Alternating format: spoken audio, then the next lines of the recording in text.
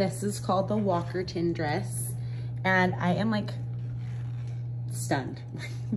I am speechless. I know it's so simple because it's just a black floral dress, but the fit of it is so pretty and it's definitely something that can be dressed up or dressed down. And I think that that's what I'm searching for in a skirt or in a dress right now is something that I feel like I can throw some like, um, maybe a little more casual shoe with it and then be able to wear it to the office and not feel like I'm too overdone.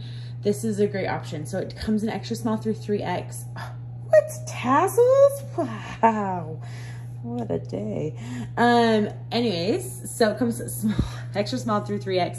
I have the size, large on, fitting great through my shoulders. It has functioning buttons right here, so it is nursing friendly. And then it's also maternity friendly as well. I would keep your regular size for maternity. It comes lined it hits me as a maxi, so I'll style it a couple different ways for you guys because I really like this dress.